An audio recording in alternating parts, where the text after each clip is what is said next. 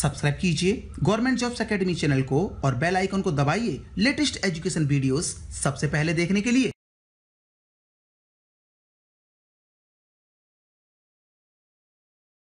Hello students we are welcoming you on the same platform that is government job academy मैं D Smith आपका स्वागत करता हूँ।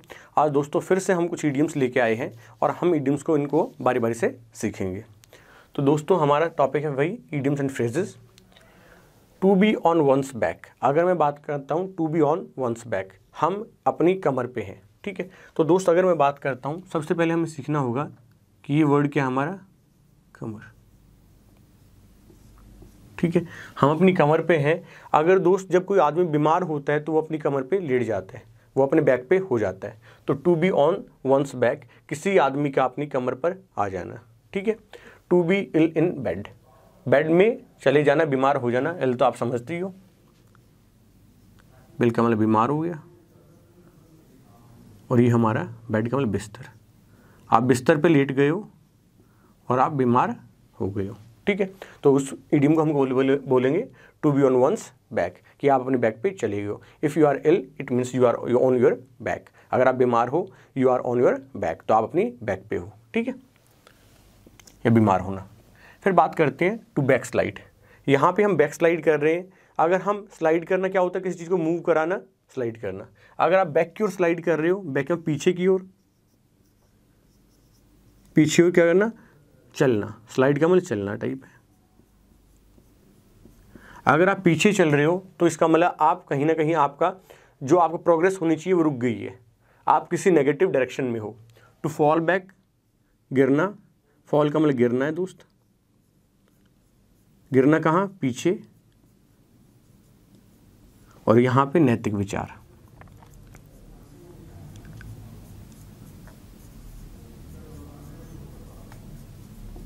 अगर मैं बात करता हूँ, आप पीछे की ओर गिर रहे हो किसमें? नैतिक विचारों में। अगर नैतिक विचारों में आप पीछे की ओर गिर रहे हो तो इसका मतलब आपका डिग्रेडेशन हो रहा है, आप गलत दिशा में जा रहे हो। तो नैतिक पतन होना। ठीक है? इसको याद करेंगे टू बैक स्लाइड सपोज़ अगर आपके अंदर कोई बैड हैबिट है तो इसका मतलब आप बैक स्लाइड कर रहे हो लाइफ में पीछे जा रहे हो। आपके अंदर कोई बुरी आदत है तो आपको हमें कभी हमेशा ध्यान रखना है कि हमें लाइफ में बैक स्लाइड नहीं करना है। वी शुड मूव अहेड हमें आगे जाना है, ठीक है? To fall back in morals तो we have two sentences that one is to fall back in morals and the second one is to back slide ठीक है? तो हमें बैक स्लाइड भी नहीं करना है और फॉल बैक इन मॉरल्स भी नहीं करना है, ठीक है? फिर बात करते हैं टू बैक स्पीयर यहाँ पे बैक स्पीयर क्या है? आप किसी की स्पीयर सबसे पहले स्पीयर को समझेंगे। स्पीयर होता है भाला, जेवलिन। ठीक है, भाला है और बैक स्पीयर है, आप उसको बैक कर रहे हो। मतलब कमर, थोड़ा सा इसको कमर से समझ लेंगे। आप किसी कमर में क्या कर रहे हो? उसको स्पीयर लगा रहे हो। आप किसी कमर में स्पीयर लगा रहे हो, भाला लगा रहे हो तो आप उसको इंस्टिगेट कर रहे हो। किसी बात के उकसा रहे हो कि कुछ जवाब आपको दे। ठीक है?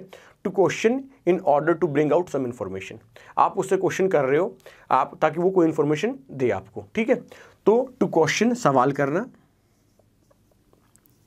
सवाल करना, क्यों in order in order to जहाँ पे भी यूज़ होगा, उसका मतलब पर्पज होता है। मकसद, क्यों, किस लिए? In order to bring out बाहर निकालना ब्रिंग आउट का मतलब बाहर लाना बाहर लाना या निकालना, कोई इन्फॉर्मेशन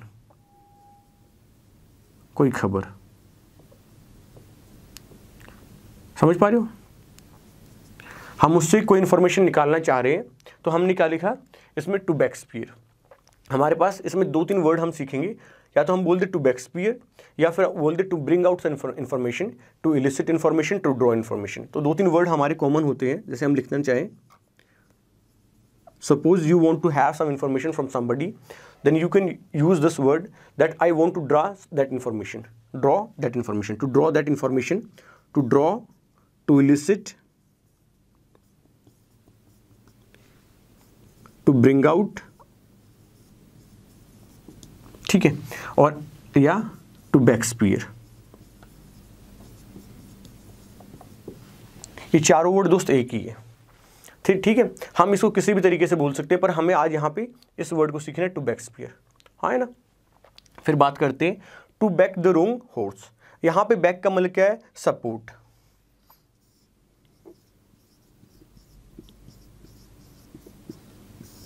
सपोर्ट आप समझते हो? उसको स्ट्रेंथ करना, उसको बोलना कि भाई तुम को मैं मतलब तुम तुम पे मैं दाव लगाता हूँ, इस तरीके से। To back the wrong horse to support the wrong horse wrong का मतलब क्या होता है दोस्त? गलत। एक है घोड़ा?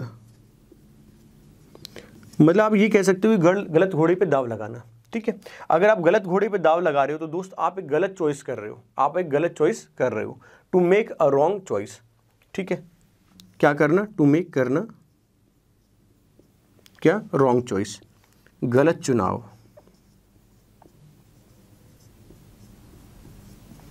ठीक है? आप एक गलत चुनाव कर रहे हो, ठीक है? तो we should not back the wrong horse we should always back the right horse ठीक है? To make a wrong horse to make a wrong choice हमें गलत चुनाव नहीं करना है, हमें एक सही चुनाव करना है तो गलत चुनाव से बचना है, ठीक है? तो we should not back the wrong horse ठीक है? इस बात को ध्यान रखेंगे, हमें कभी भी रॉन्ग होर्स को बैक नहीं करना है, ठीक है? फिर बात करते हैं बैक बाइट हम क्या कर रहे हैं? बैक बाइट बैक बाइटिंग क्या होता है दोस्त? किसी के कोई ना हो बंदा, उसी कमर। या देखो बैक कमल यहाँ पे भी कमर है। और बाइट कमल काटना। बाइटिंग। आप उसको कमर कमर का बैक बाइटिंग क्यों बोला गया? इसको बैक बाइट क्यों बोला गया? अगर वो बंदा नहीं है, अगर वो बंदा नहीं है, आप उसे कमर के पीछे में, उसके एब्सेंस में, उसको काट रहे हो, उसके बारे में गलत बात कर रहे हो, ठीक है? To denounce somebody in his absence किसी के एब्सेंस में उसके बारे में गलत बात करना। डिनाउंस डिनाउंस को क्रिटिसाइज करना, बदनाम करना। बदनाम करना। समबडी किसी को भी उसके एब्सेंस में मतलब उसके मतलब उसके ना होने में, जब ना हो, अनुपस्थिति एक अच्छा वर्ड रहेगा इसके लिए, अनुपस्थिति। उसकी अनुपस्थिति में आप उसके बारे में गलत बात करते हो तो आप बैक बाइटिंग कर रहे हो बैक बाइट कर रहे हो। पीठ पीछे बुराई करना। समझ पा रहे हो? पीठ पीछे बुराई करना, इसको हम बैक बाइटिंग बोलते हैं, ठीक है? फिर बात करते हैं बैड ब्लड दोस्त बैड ब्लड है अगर किसी आदमी में, अगर बैड ब्लड का मतलब ये होता है कि उन दोनों का दुश्मनी होना। मतलब एक तरह से अगर गुड ब्लड तो नहीं होता, पर बैड ब्लड का मतलब क्या है कि उनमें ना वो, उनका विचार नहीं मिलते हैं, ठीक है? वो एक दूसरे के अगेंस्ट है। लास्ट अगर वीडियो की अगर बात करें हमने प्रीवियस वीडियो में देखा था at daggers drawn at daggers drawn अगर मैं बात करें डैगर्स मैंने आपको बताया था डैगर्स का मल क्या था खंजर, और ड्रॉ का मल निकालना। अगर आप खंजर निकालोगे तो आपकी उससे दुश्मनी होगी, उससे आपका विचार नहीं मिलते। सेम वे में बैड ब्लड है, ये दोनों का मतलब एक ही है बिटरनेस और एनिमिटी समझ पा रहे हो? अगर बात करें, इसकी बात करें बुरा खून। बुरा खून का मतलब जैसे यू कह सकते आप बोल सकते हो we are at blood bad blood with each other कि हम एक दूसरे से हमारा विचार नहीं मिलते we have a bitterness between us कि हमारे अंदर बिटरनेस है, कड़वाहट है। ठीक है? एट डेगरिस ड्रॉन बिटरनेस मतलब कड़वाहट और एनिमिटी मतलब शत्रुता। ठीक है? अगर बात करें एनिमिटी का मतलब आप समझ रहे हो, शत्रुता है और बिटरनेस में कड़वाहट है। तो हमने bad blood bad blood at daggers drawn daggers का मैंने बताया था, खंजर और ड्रॉ का मतलब निकालना। यहाँ पे हम ड्रॉ वर्ड का यूज़ किया, यहाँ पे भी निकालना है, यहाँ पे भी निकालना है। तो डेगर्स ड्रॉन हम खंजर निकाल रहे हैं तो उसका मतलब हमारी दुश्मनी है। ठीक है? एक बार फिर से रिविजन कर लेते हैं दोबारा से। To be on once back मैंने कहा, अपनी कमर पे आना to be ill in bed आप बीमार हो, ठीक है?